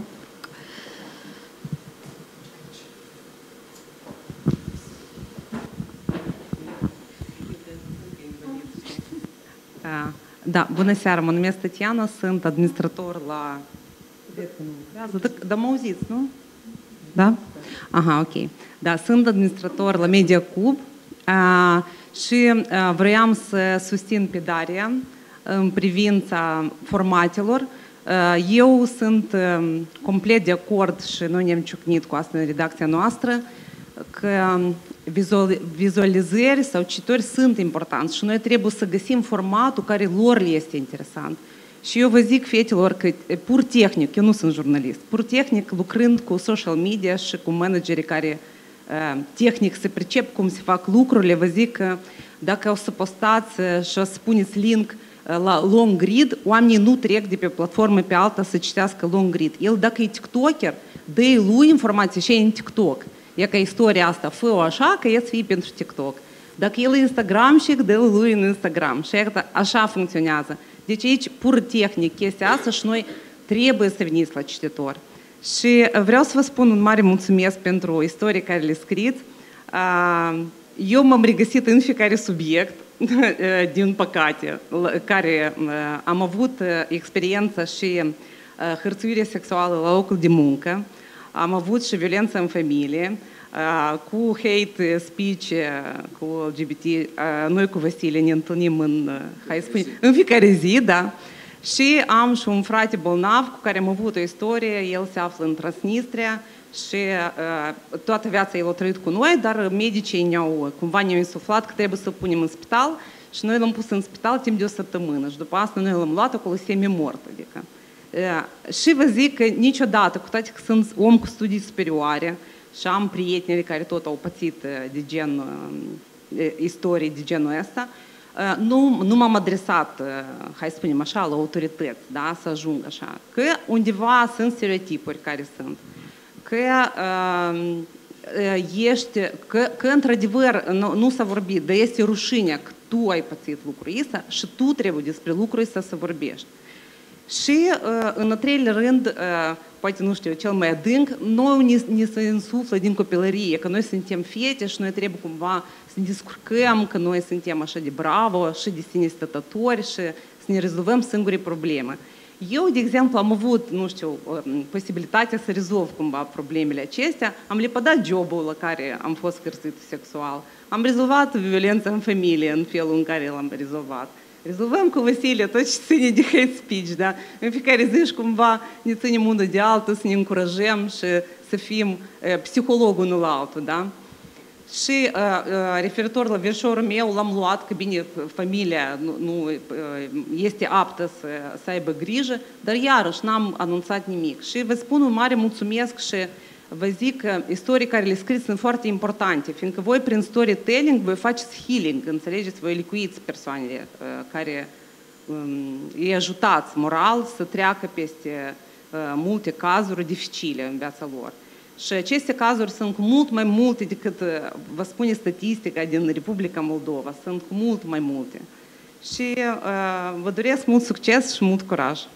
Mersi.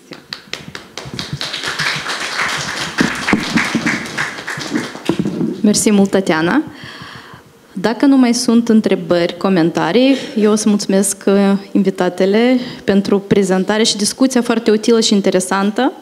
Și urmează partea cea mai interesantă acestui eveniment, decernarea premiilor din acest an și voi oferi cuvântul colegii mele, Mariana. Mulțumesc mult, Ecaterina.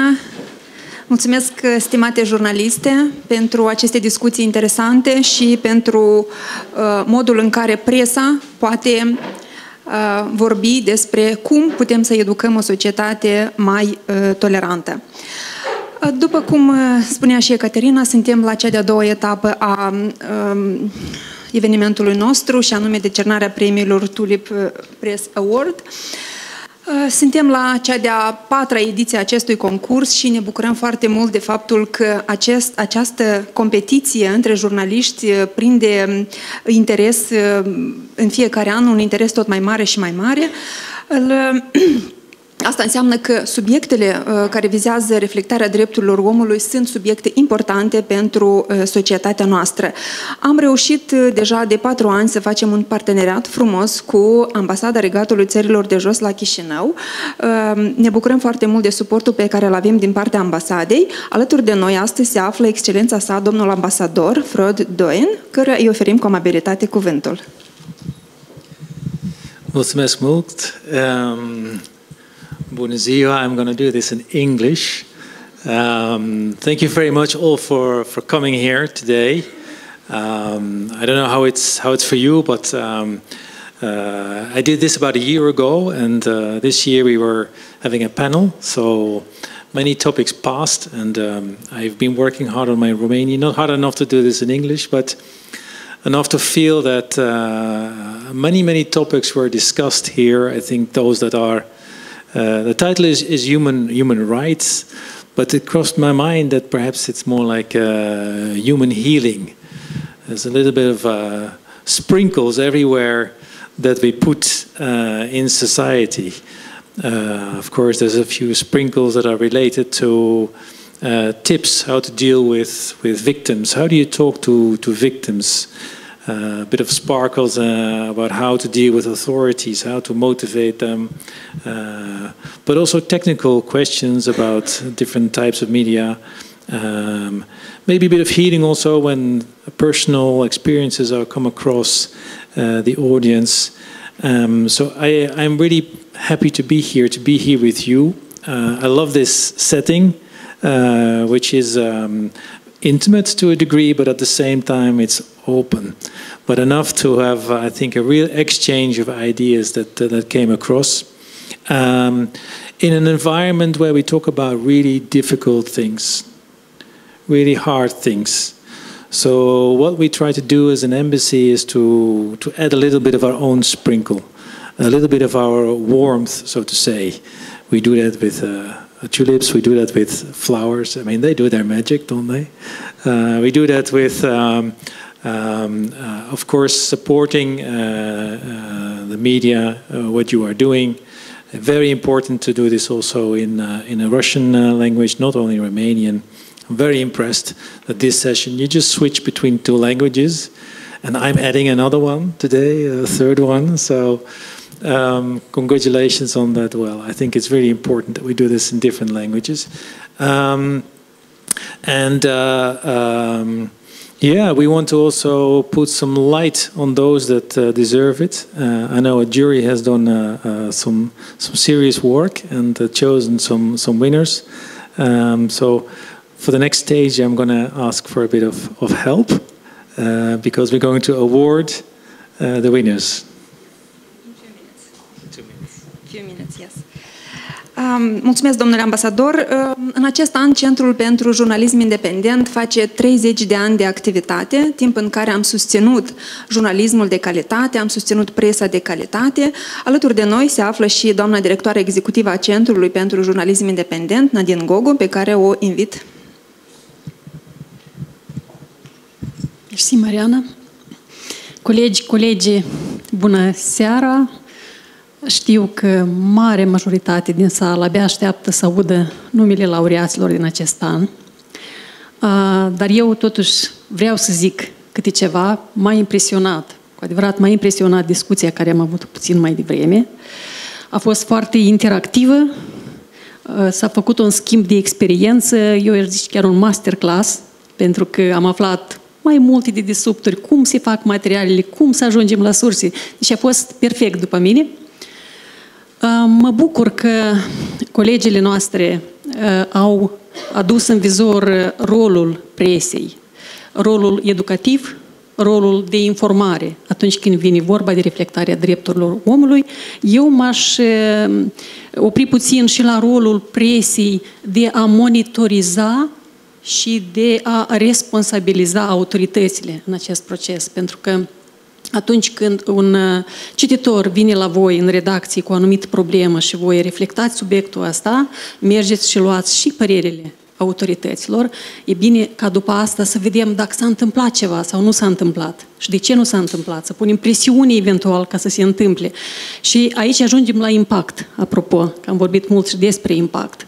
Dacă după materialele noastre lucrurile se schimbă, și se schimbă în bine, nu doar pentru un protagonist, dar pentru mai mulți care eventual au uh, probleme de genul despre care ați scris. Asta deja e o istorie de succes, aș zice eu. Și în același timp nu trebuie să uităm că, din păcate, impactul sau rezultatul poate fi uneori și negativ, și aici nu mă duc departe, eu încă sunt sub influență, cum se spune, am văzut azi uh, pe rețelele sociale acele acuzații aduse la adresa unor jurnaliști că ar fi contribuit cumva Uh, la cazul de suicid din satul Drochia, cine urmărit subiectul, probabil cunoașteți despre ce este vorba, da? E trist. Nu aș vrea pe această notă tristă să, să închei uh, cuvântul meu de salut. Uh, eu vă încurajez în continuare pe toți acei, nu doar pe laureați, o să-i felicit, dar o să-i felicit pe toți acei care ați participat la acest concurs, pentru că faceți bine ceea ce faceți și ar fi bine să nu ne oprim să continuăm, pentru că vedem în timp picătura chinezească, da? Despre asta s-a vorbit puțin mai devreme. Felicitări tuturor! Mulțumim, doamna Gogu.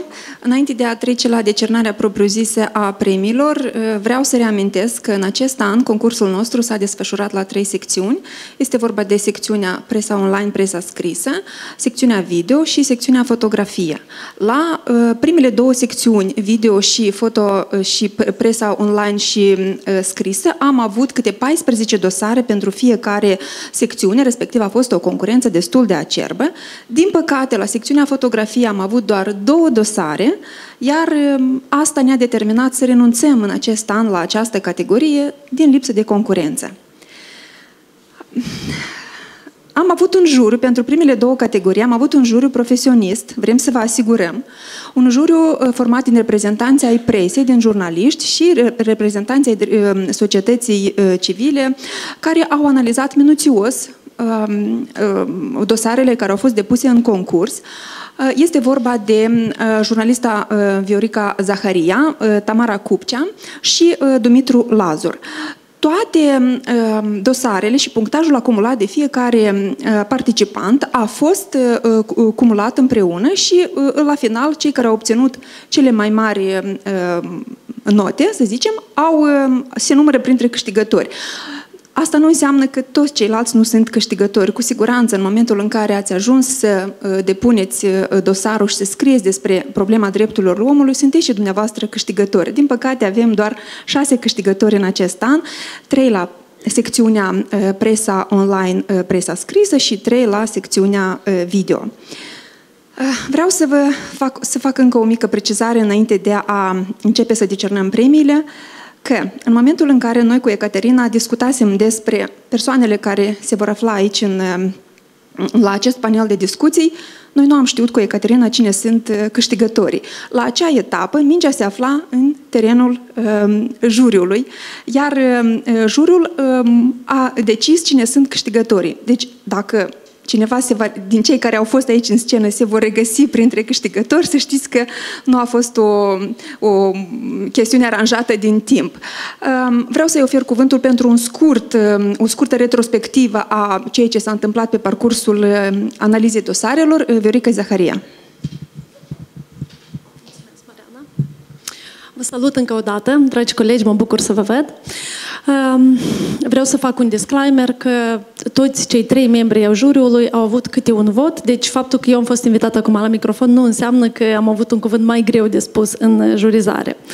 Acum o să mă împărtășesc o impresie personală și vreau să zic că, în general, sunt un pic eu profesional pesimistă în, în privința calității jurnalismului de la noi, pentru că știți de ce, o parte din probleme au fost deja listate aici, ehm, se chinuie, se chinuiește presa independentă să își asigure sustenabilitatea, asta este un minus care influențează calitatea. Ehm, tinerii jurnaliști nu prea mai vin în profesie sau dacă vin, ehm, stau 2-3 ani și pleacă, până a se maturiza în profesie. Deci astea sunt probleme cu care se confruntă redacțiile și ele chiar cu adevărat uh, afectează calitatea jurnalismului. De aceea eu um, de multe ori mă plâng colegilor că nu prea avem maturitate profesională în jurnalism, în profesie, de atâta că oamenii pleacă uh, înainte să se coacă. Și iată că vin concursurile, fie că sunt, um, este concursul pentru jurnaliștii anului sau alte concursuri pe care am norocul să le jurizez, care îmi echilibrează această percepție și mă face să uh, admir și să, să mă convin că totuși avem foarte mult jurnalism bun în Moldova. Bine, es, uh, esențele tari se țin în sticluțe mici, este, nu e mult, e puțin, jurnalism de calitate, dar uh, vreau să vă mulțumesc pentru că am privilegiul să citesc atâtea materiale bune. Pe o parte dintre ele, desigur că le-am citit la momentul apariției, pe foarte puține le-am citit uh, la jurizare, dar uh, permiteți-mi să-mi exprim admirația pentru munca pe care o faceți, pentru că în noianul de informații pe care le avem în spațiul informațional al Republicii Moldova, noianul de materiale necalitative, care reprezintă de fapt niște fragmente de informații, niște decupări de, uh, de pe Privesc EU, deci în, în acest noi an de informație, i-aș zice necalitativă, iată, avem aceste bijuterii ale voastre, uh, materiale muncite, uh, documentate, uh, unde sunt puse accentele bine, unde se analizează impactul, unde jurnalistul are respect pentru sursa cu care vorbește și are respect pentru public. Aici vreau să apreciez și contribuția partenerilor în primul rând, regatului țărilor de jos, care sprijină o astfel de competiție și confirm încă o dată că jurnaliștii din Moldova au nevoie de astfel de uh, sprijin, pentru că asta îi mobilizează atunci când munca ta este apreciată, și cred că nu e vorba atât de uh, recompensele materiale, dar de, de faptul că cineva îți recunoaște că tu ai făcut o muncă bună. Deci vă rog să continuați să sprijiniți jurnalismul de calitate de la noi. Uh, cine poate, toți către, deci este un apel către toți partenerii din, uh, care sprijină jurnalismul din Moldova. Dragi colegi, felicitări și uh, mai adaug doar că, așa cum a spus și domnul ambasador, a fost o misiune extrem de dificilă, pentru că majoritatea din uh, materialele uh, depuse la concurs au fost foarte bune și îmi pare rău că au existat doar șase premii. Poate la anul măriți numărul de premii ca să putem premia cât mai multă lume, pentru că merită. Mulțumesc! Mulțumim mult, Viorica! Trecem la decernarea premiilor Tule Presă Ori, nu înainte de a-l invita pe domnul ambasador și pe doamna Gogu alături de diplome și de trofee, pentru că urmează evenimentul, uh, momentul celebrării. Așadar, începem cu secțiunea presa online, presa scrisă, la care avem trei premii. Acordăm primul premiu în ordine aleatorie jurnalistei care, în materialele sale, a potcovit violența și a povestit istoria lui Andrei, care a fost reținut ilegal de așa zisele forțe de ordine din stânga Nistrului și condamnat pentru jurnalism. Ați înțeles despre cine este vorba? Polina Cupcea de la Oameni și Kilometri.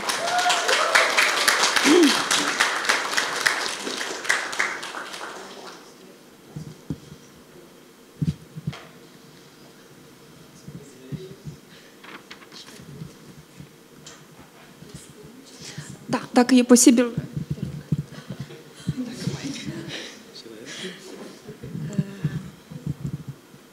Se aude, da? Uh, mulțumesc mult pentru aprecierea și așa cum a spus Verica, uh, nu este vorba doar de um, cumva partea financiară, dar cumva știi că munca ți este apreciată și de fiecare dată când iau un premiu, uh, țin să mulțumesc cuiva, ori lui bunica, lui vecinul. De data asta vreau să vă mulțumesc vouă colegilor care înce- care depunem efort și facem jurnalist de calitate și mai ales pe social pentru că nu este atât de ușor. Vă mulțumesc în special vouă.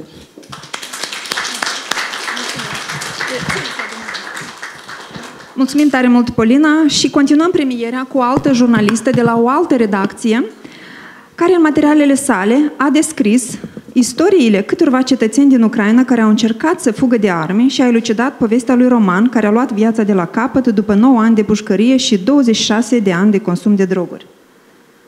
Este vorba de Alina Mihalkina de la Newsmaker.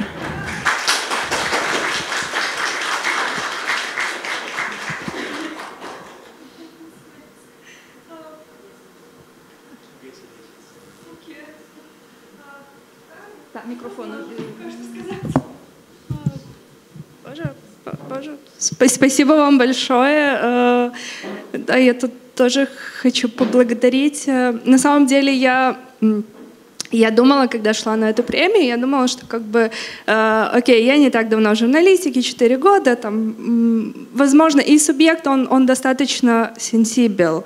То есть это граждане Украины, которые бегут от войны, которых неоднозначно воспринимают на их родине, а, которые неоднозначно воспринимают сами себя. А, Я помню, как я говорила с этим парнем, буквально за, за ними, для того, чтобы с ними поговорить, я за ними бегала, и я говорила с этим молодым человеком, и я видела, что у него... а, он сталкивается с такими большими, серьезными душевными проблемами, а, и в первую очередь судит, осуждает сам себя. И э, этот фрагментированный мир, в котором мы находимся, в котором э, люди, эм, люди, уязвимые люди, э, иногда имеют возможность рассказать, и пусть теми, кто их слушает, будем мы. И это огромная честь, что нам доверяют такие истории. Поэтому э, спасибо вам, коллеги, спасибо большое моей редакции, которая помогала мне при этом материале. А, Мне очень приятно. Вот. Mulțumim, Alina! Și ultima câștigătoare a concursului Tuli Presa World la secțiunea Presa Online, presa scrisă, este o jurnalistă care a abordat în materialele sale subiectul hărțuirii sexuale într-un spital municipal și a încercat să răspundă la întrebarea de ce victimele aleg să rămână anonime. Este vorba de Georgeta Carasucenco de la Moldova Org, în prezent Radio Europa Liberă.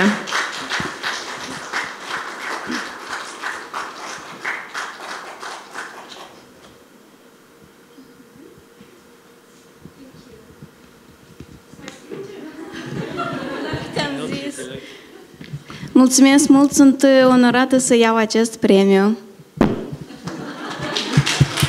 Mulțumim, Georgeta, și mult succes în continuare! Trecem la, trecem la cea de-a doua secțiune, secțiunea uh, video. Îmi cer scuze, nu am arătat-o și pe Georgeta la ecran. Vă rog să vedeți. Așa, la secțiunea video am avut de, de asemenea 14 dosare și primul premiu, în ordine aleatorie, pleacă la o jurnalistă care în materialele sale a abordat subiectul diversității, echității și a libertății. Este vorba despre Ilinca Telefca de la Oameni și Kilometri. Uh,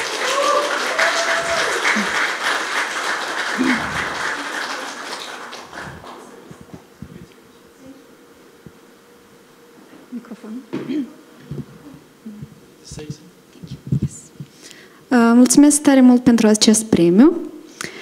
Uh, scopul proiectului meu a fost să deschid câteva perechi de ochi, măcar câteva, și să-i ajut pe oameni să înțeleagă că, de fapt, noi suntem la fel. Noi iubim la fel, noi avem griji cotidiene la fel, noi avem probleme cu care ne confruntăm și noi merităm acceptare și iubire. Și mulțumesc tare mult pentru că ați văzut acest proiect și eu sper să ajungă la cât mai mulți oameni. Mersi tare mult! Mulțumim, Elinca! Continuăm premierea cu altă jurnalistă care în materialele sale a abordat subiectul drepturilor persoanelor cu sănătate mentală și implicit a unui tânăr care a murit după 10 zile în custodia statului. De asemenea, a investigat cum arată mâncarea din spitalele de stat și mai ales cât de sănătoasă este. Felicia Crețu, proiectul Media cu Sens.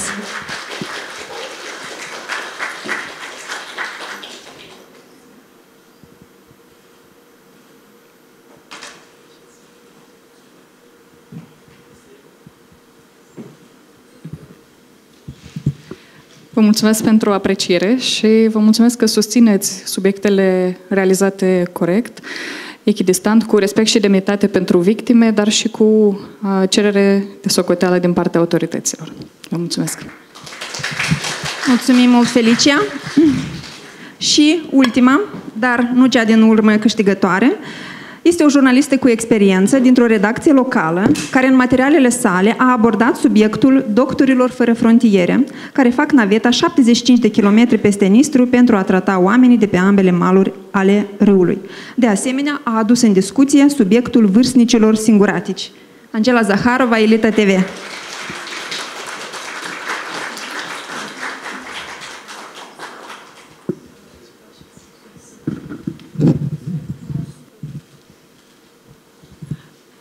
Bună seara tuturor! Mulțumesc pentru că ați apreciat uh, și produsul local în această seară. Uh, într-adevăr, este o problemă. Acești oameni fac naveta peste 70 de kilometri în fiecare zi ca să trateze oamenii la rezina. Vin din uh, regiunea transnistreană și statul e, le promite aceste locuințe pe care ei nu le au. Am vorbit chiar astăzi cu acest medic și locuințele, cele trei locuințe de serviciu la rezina s-au eliberat. Uh, dar uh, nici doctorilor nu au fost transmise deocamdată. Mulțumesc frumos și succes colegilor.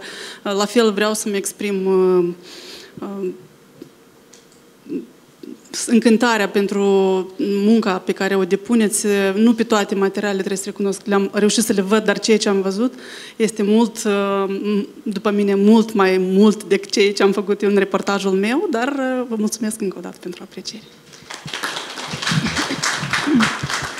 Mulțumim mult, Angela. Vă mulțumim și dumneavoastră pentru lumânarea premiilor. Uh, stimați colegi jurnaliști și jurnaliste, vă felicităm încă o dată pentru faptul că ați depus dosarele la concursul Tulip Press Award ediția 2024.